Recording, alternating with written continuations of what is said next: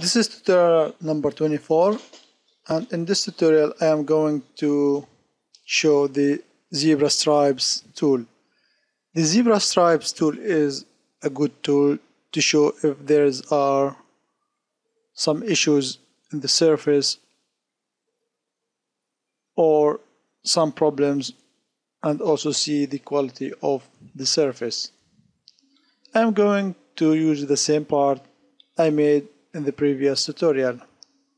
To find the zebra stripes tool we go to tools customize commands view and simply drag zebra stripes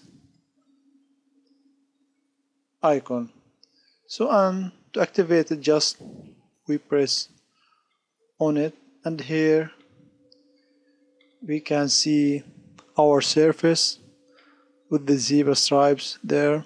Here we can adjust the thickness and the number of and here's the view of the stripes.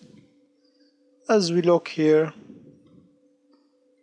closer to the surface we can see the stripes are not continuous or disturbed so that means there are no continuity between two surfaces or there is no tangency.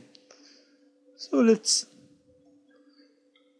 edit the sketch here and add the tangency relation.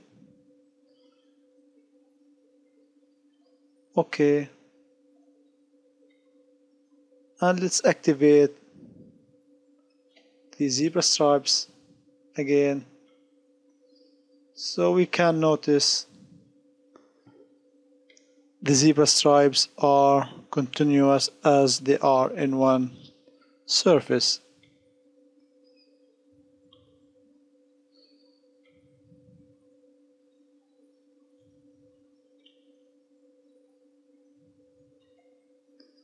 So now I can close these tutorials about the zebra stripes.